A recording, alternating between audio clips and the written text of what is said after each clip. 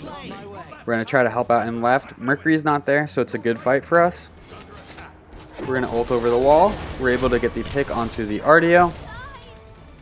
Skadi's running away. We do have our blink. Blink. Hit her with the one. Miss the two. And we're able to clean up the Skadi. Delayed double kill.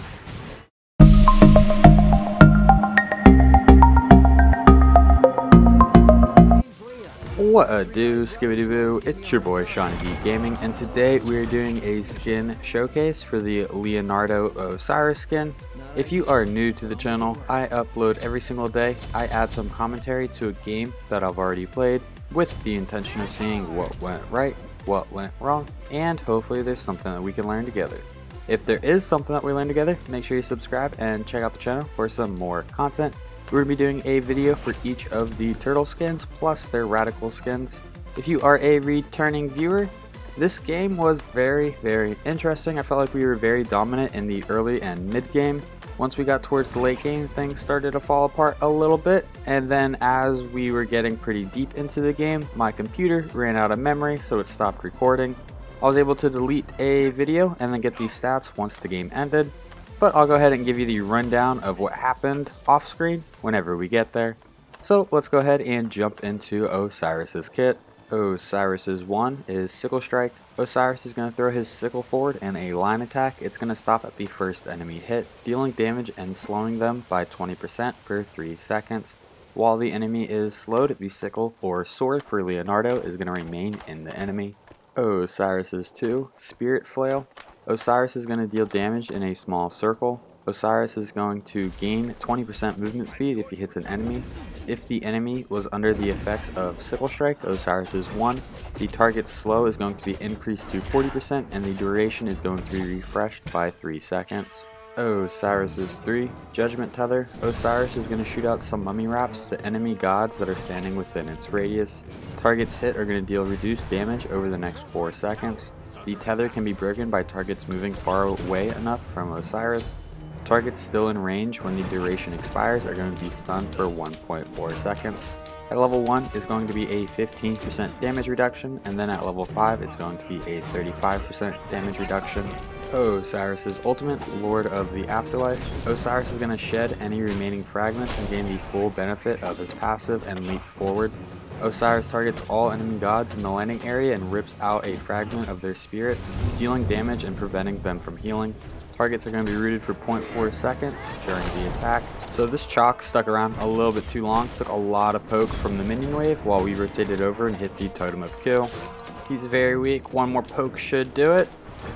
And we're able to get the first blood. That's going to be an additional 500 gold in our pocket. The last ability to go over is Osiris's passive, Fragmented. Each time Osiris uses an ability, he's going to burn away a fragment of his body, gaining 2% physical damage mitigation and 1% magical damage mitigation for each missing fragment. After losing 8 fragments, he's going to enter his spirit form. He may walk through enemies and enemy blockers, such as a Ymir wall, and his basic attacks do not incur a movement speed penalty.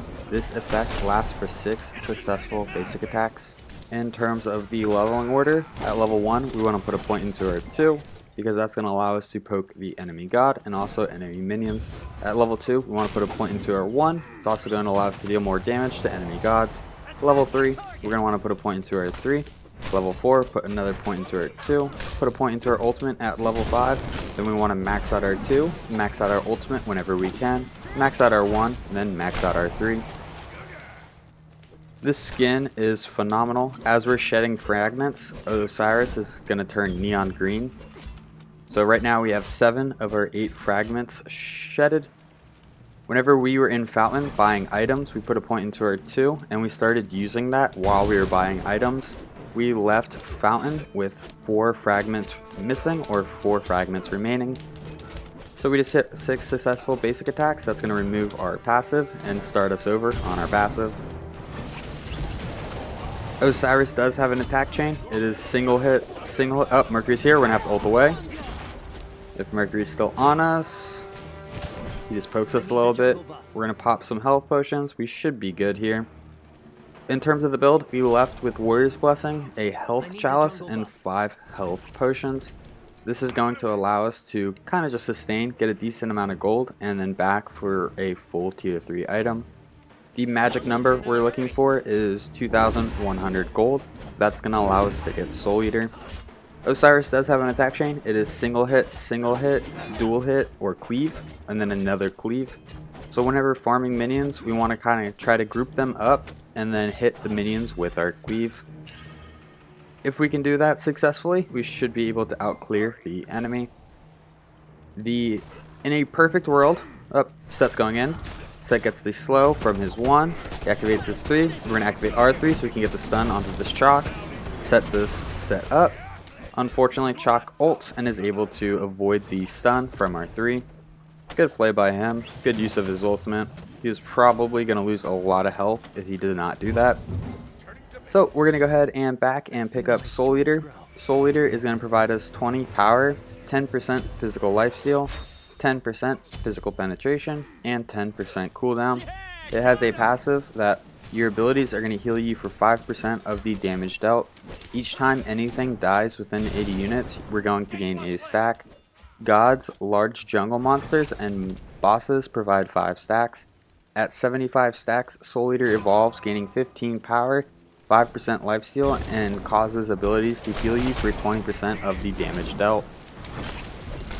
Typically, I would not think to buy Soul Eater on Osiris, but it works out really well if you're landing your 1 and your 2.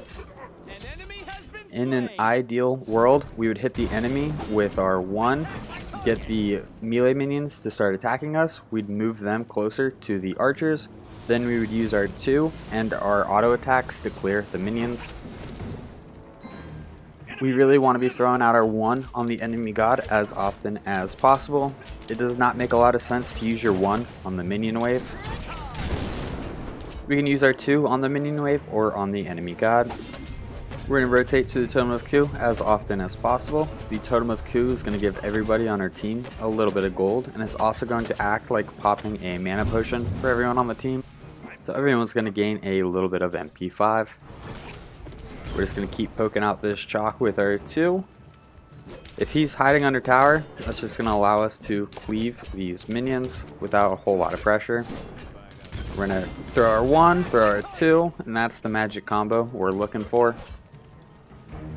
Our blue's down. We should probably rotate back for that. Set's coming in. Set goes in, so we turn our attention to the tower. We're going to try to help out. Set's able to get the Chaac. We didn't do a whole lot, but we are going to move to the backside of the tower to make sure that Set can get out okay.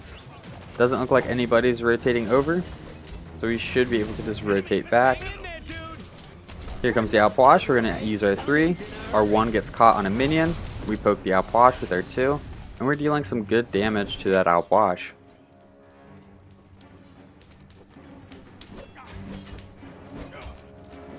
Looks like they just secured their blue. So our blue got dropped and then we helped get the pick onto Chaac. Or we stood near Chaac as he went down. So we missed out on our mana, which means we need to be a little bit careful on how much mana we used until we can get our blue buff up.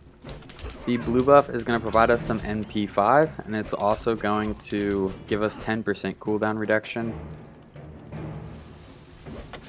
We're just going to rotate to the totem, go ahead and finish what we started.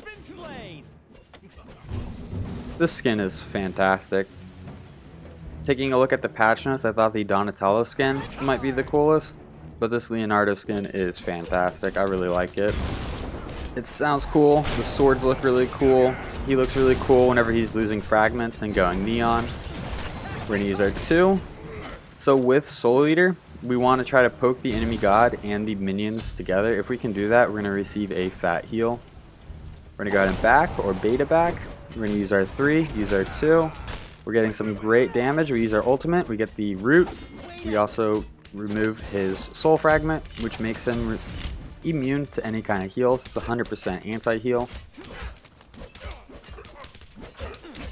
We're going to go ahead and clear this minion wave. Our blue buff is up, so we're probably going to rotate to that before backing. Nope, we're going to back and then rotate to our blue buff. So with Osiris, you generally do not want to build any kind of attack speed because that's going to make you lose your passive faster. So long. gaining up to 16% physical damage mitigation and 8% magical damage mitigation can be very helpful in team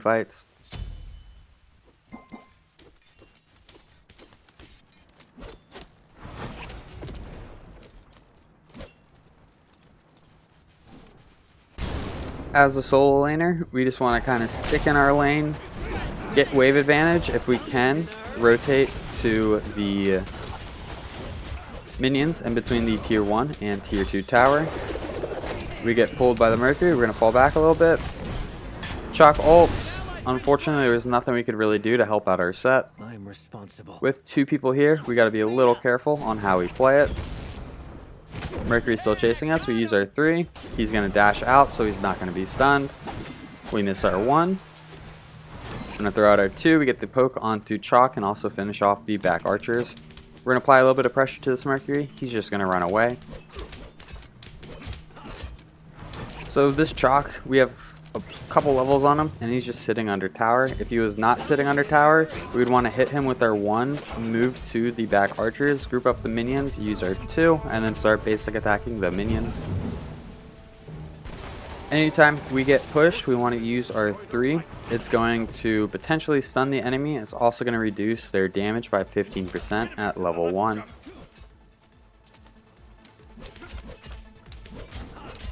There's the Chaac hammer. We're going to rotate into the jungle. Their blue buff isn't there. And then we're just going to go ahead and move up and clean this wave.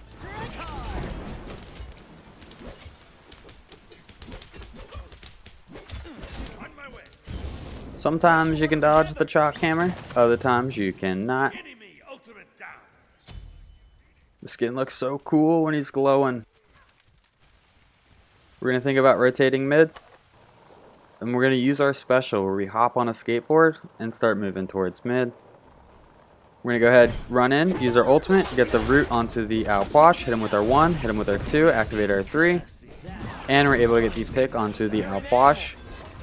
Alposh does not have any kind of movement speed or movement abilities, so it is fantastic to just go onto him because he's just stuck unless he can get any kind of peel from his team. Taking a look at the enemy team composition, we don't necessarily like have any advantage on the enemy characters. If we were going against a Cabrakan, an Odin, a Ymir, somebody with a player made wall, Osiris is a fantastic pick because once his passive is active, he can walk through those player made structures.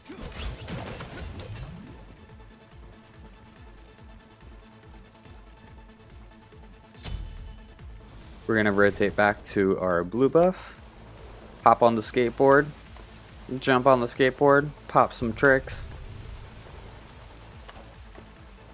I did buy the uh, Master Splinter and Shredder skins, and I was a little disappointed that they didn't have special emotes, but I get it.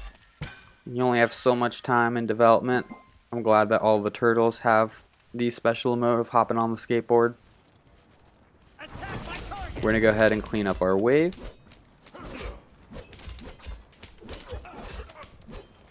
So my thought process is for the normal turtle skins, play them in their normal positions.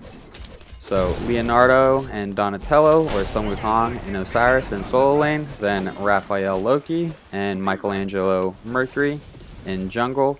Then whenever I get to the radical skins, do the opposite. So it'd be Osiris and Sun Wukong in jungle. Then it would be Raphael and Loki, or Loki and Mercury in solo on the radical skins. Then we also have a Shredder Jungle video to come out and a Hachiman Splinter carry video. We're to go ahead and back. We picked up the Warrior Tabi boots. That's just going to give us 40 power. That's really what we're looking for, that additional 40 power. It's going to give us a decent power spike, and we don't really want to go into attack speed. I would say the one exception for this is Qin's Sais for the late game, but we'll get to that in a bit. So after going into Soul Eater and our boots, we're going to be going into Frostbound Hammer.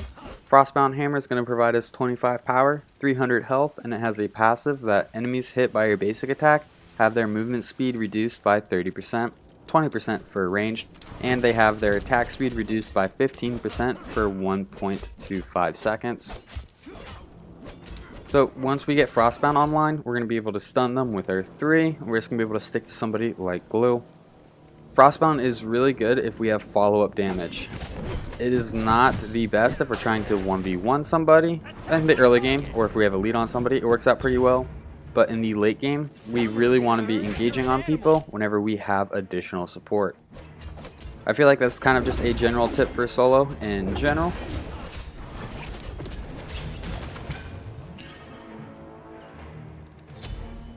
Taking a look at the enemy team, once we get to the team fighting stage, we're going to want to get damage onto the Mercury, onto the Skadi, and onto the Alposh. We're not too concerned about the Artio or Chaac. We just want to make sure that they're not diving our squishies without getting punished.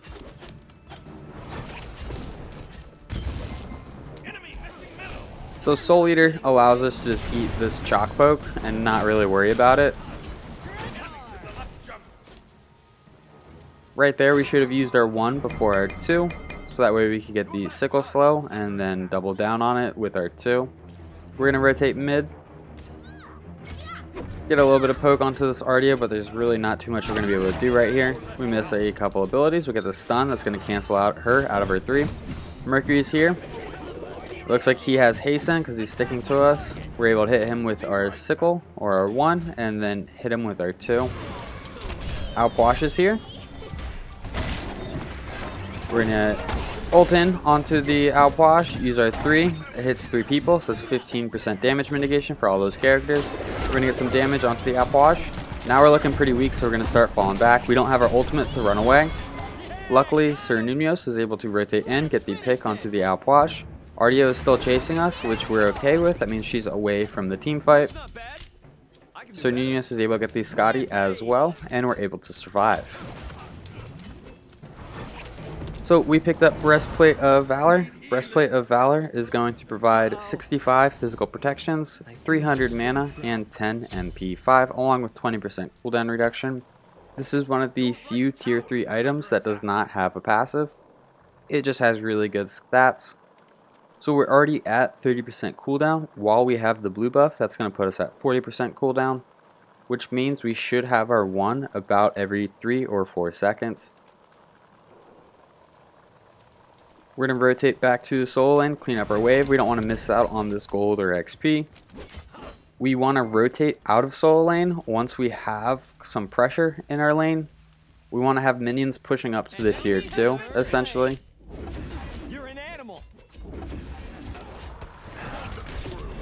We're going to pick up our blue. And right now, if you take a look at the little passive icon, we are 8 of 8, and we have 6 red things. Those are our 6 basic attacks. Once we use the 6, we're going to lose our passive.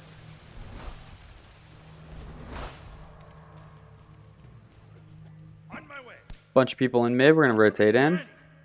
We're going to blink over, ult over the wall, keep targeting this Outwash because he is going to have a hard time getting away from us. We're able to get the pick onto him. Now we're going to rotate to the team fight. We're able to get the pick onto the Artio and onto the Skadi. Now we should be able to rotate to the Gold Fury. We cleaned up mid, carry, and their support. We really only have to worry about their Mercury.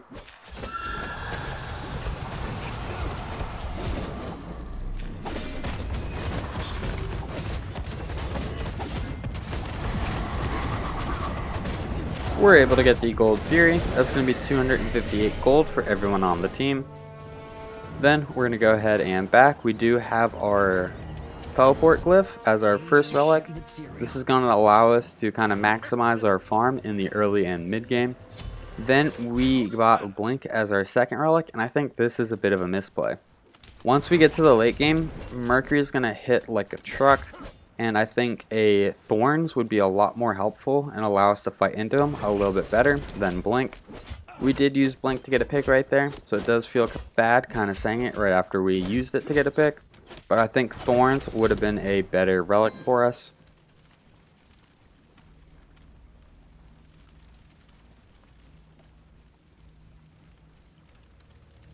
We're going to go ahead and rotate towards the mid. Checking the enemy speed buff, it's not there. Can't really find anyone in mid, so we're just going to kind of rotate back to our Hades. Two people on left, we're going to rotate over. If they keep pushing up, we should be able to close and collapse on them pretty well. We should be in our skateboard form. Don't know why we're not. One more ability and we're going to enter our passive state. We're going to use our 3. Skadi uses her beads.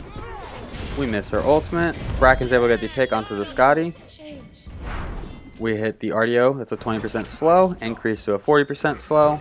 We have Frostbound, so as long as we're basic attacking her, she should not be able to get away. Bracken's able to clean up the Skadi. Our set goes down to Mercury. Not exactly sure where that happened.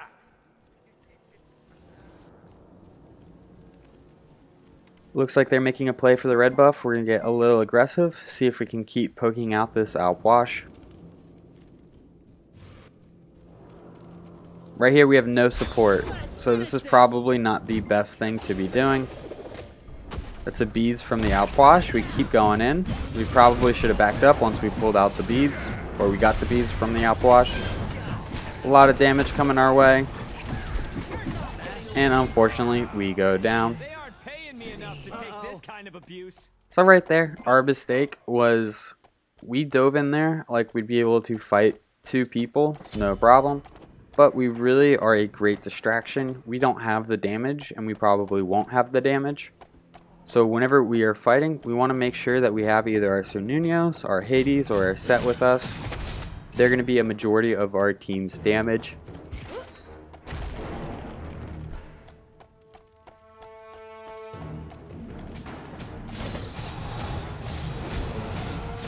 We just got too aggressive. As a solo laner, we are the front line meaning that we are diving the enemy team, trying to distract and bait out abilities from the Alp Wash, from the Skadi, and from the Mercury.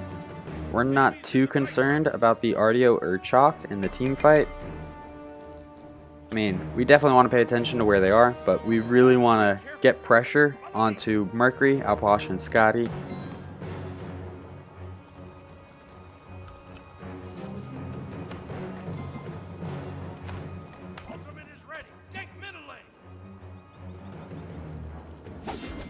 We're going to rotate to the blue buff. Go ahead and pick this bad boy up.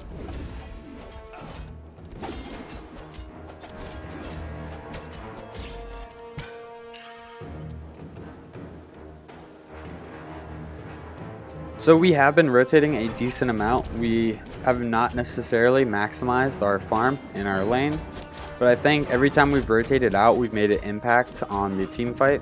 So I think our rotations have been pretty good so far this game.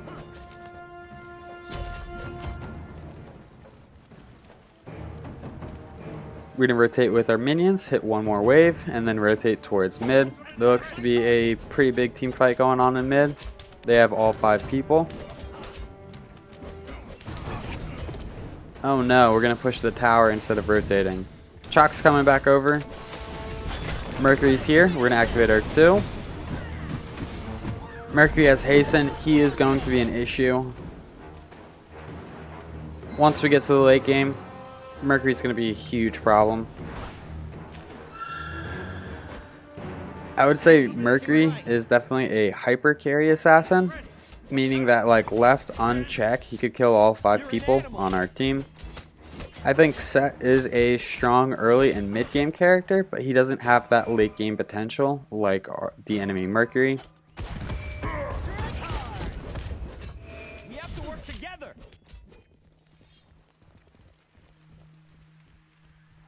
So we lose two. We're going to rotate towards our Bracken. Looks like the enemy team's rotating in behind us. We're going to get our Frostbound procs. We're going to try to help out the Cernunnos. We get caught on the ice and the wall. A little bit of a mess right there. We're going to hop over the wall. Get the root onto Skadi. We're going to stick to the Skadi. And she gets popped at the shell. We're going to start falling back.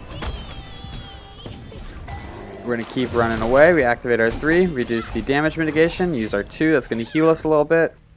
We're going to keep running. And we're going to have to blink away from the Alp Wash 2. Not sure if it would have killed us, but I'm pretty sure it's dealing more than 210 damage. I think it would have gotten us if we didn't blink right there. So after going into Frostbound, we are going to be going into Genji's Guard. Genji's Guard to provide us 150 health, 70 magical protections, and 40 MP5 along with 10% cooldown reduction.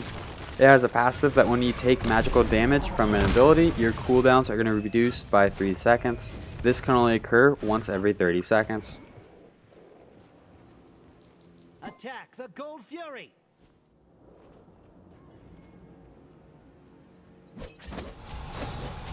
I make the call to go for Gold Fury. Even if we don't go for the Fury, I think this is a great place to kind of try to bait out a team fight. They're right around the corner, so we should all pull off of this. Raken's there. We're going to pull off. I think Set stays on it. That's a Mercury ultimate. Mercury's able to get set. We're able to get the outwash. Hades goes down. So we've already lost two of our damage characters. We should not be sticking to this Artio. Now we're going to have to run. It's just Cernunnos and myself versus four people. This Mercury is a nightmare to deal with. He uses beads so he didn't get stunned out, and he's able to clean us up.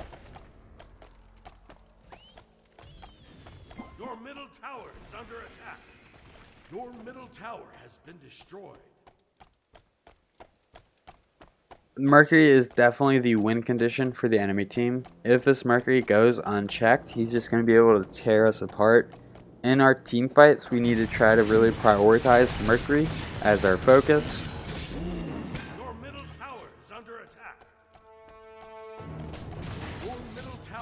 Taking a look at the enemy build, Mercury is going into crit.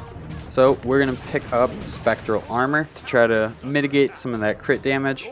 Spectral Armor is going to provide us 65 protections, 200 health, 300 mana, and 10 MP5. Its passive Critical strikes only deal 50% bonus damage to you instead of 100.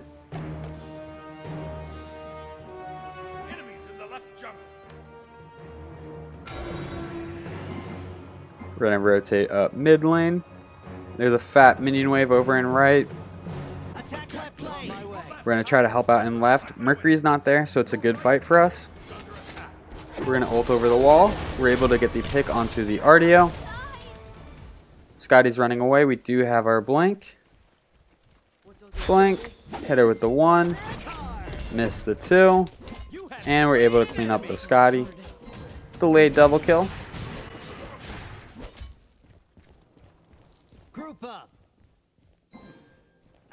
Chaac's a little out of position. Looks like our team's trying to close in.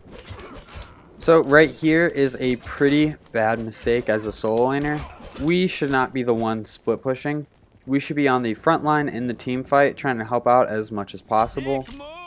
We should not be over here in left lane trying to get pressure on a structure.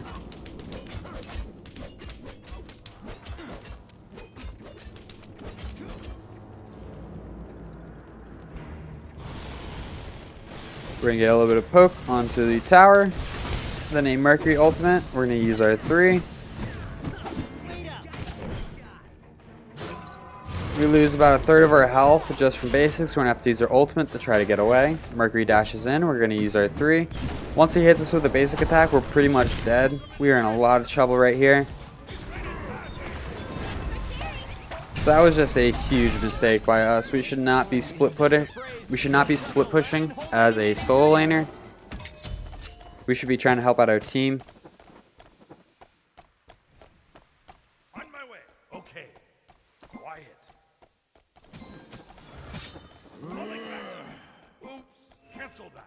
So let's see if our team engages on anything right here. Doesn't look like it. Kind of looks like both teams have dispersed a little bit.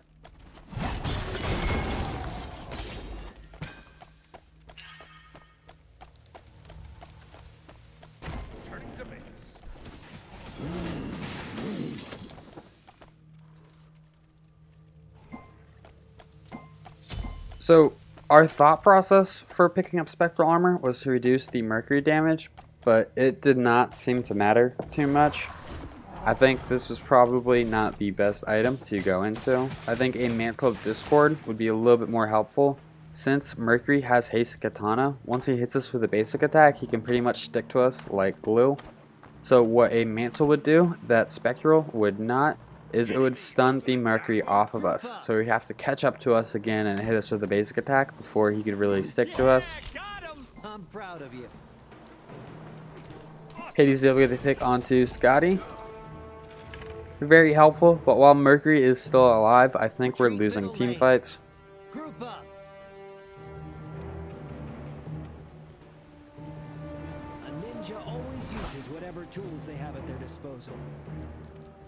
We set up some wards on Fire Giant. It's three of us, probably four of them, so we're going to start falling back. We're trying to see if we can get any of them to overstep right here. Mercury's back in. Now that Mercury's back out of the fight, it's actually a good fight for us. So now we want to go in and try to fight. We're going to use our three. Hit her with the two. Hit her with the one. Or hit her with the one. Hit her with the two. Or our ultimate, we're going to root her. Apply anti-heal. We get tagged by Alpoish. Set goes down almost immediately from the Alpoish. Mercury's in the team fight. We're in trouble. We're going to activate our three. Try to get the stun. Use our two to get a little bit of a heal. Mercury goes down. It's a good team fight for us. We do have an upgraded teleport glyph, which allows us to teleport to a ward. So we're going to want to back right here. And then try to teleport right back into the fight. Unfortunately, Cern goes down before we can make our way back. So it's a 4v2. We teleported in, but it's not a good fight for us.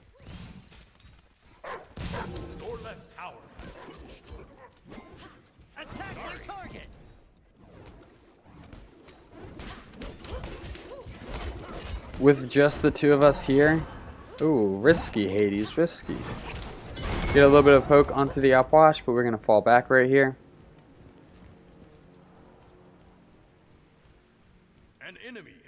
The game. The enemy Chaac leaves, but he does return.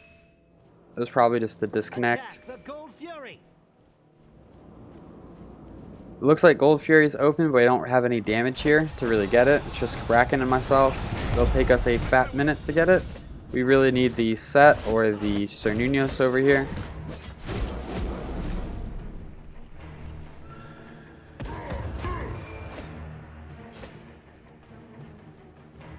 Artio's here. We have some good ward coverage. Mercury's over in right. We get some poke onto the Artio. We're going to use our one, then our two. Alposh is a much better target than Ardius, so we're going to start diving onto him. Mercury's here. We're in a little bit of trouble. We're going to stick to this Alposh when really we should be sticking to the Mercury. That's a misplay by us. We probably could have gotten him. This Frostbound's coming in clutch. We're able to get an assist onto the going to use the 2, get some good damage onto the Artio. We should probably focus our attention onto the Skadi, not the Artio.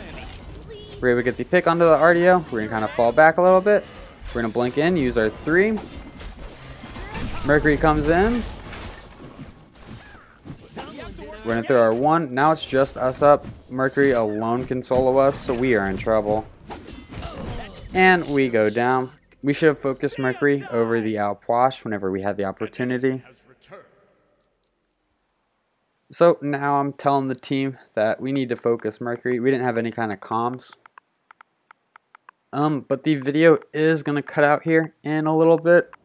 So what happened was there was about another 13 minutes of this game. Their Mercury was just an absolute nightmare. We got, I think, up to 11 kills ourselves. We died two more times. We made a good defense effort. They were able to get two Phoenixes. We held. We were able to get the two Phoenixes back up. Then they got another two Phoenixes. And then they were able to kind of push in and win. It was unfortunate, but I do think this build, minus maybe Spectral, is very good on Osiris. I also have another build of Osiris up on the channel. I'll go ahead and put a card up at the top. I did manage to record these stats for this game. I was able to finish the game, delete some files to clear up some memory, and then record the last 10-15 seconds of the stats at least, not the game. So at some point here, it's just going to awkwardly cut to the stats for the game. If you enjoyed the video, or if you feel like you learned anything at all, make sure you give it a thumbs up. That really helps the video out. If you want to see some more Teenage Mutant Ninja Turtle coverage and some more guides, make sure you subscribe and check out the channel so you don't miss a beat. These stats will be posted in just a moment. Thank you for stopping by. I hope you have a great time. I'll catch you next time. Bye-bye.